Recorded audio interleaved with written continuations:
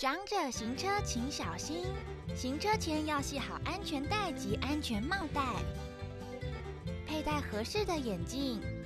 变换车道或转弯请打方向灯。骑机车请两段式左转，请勿逆向行驶。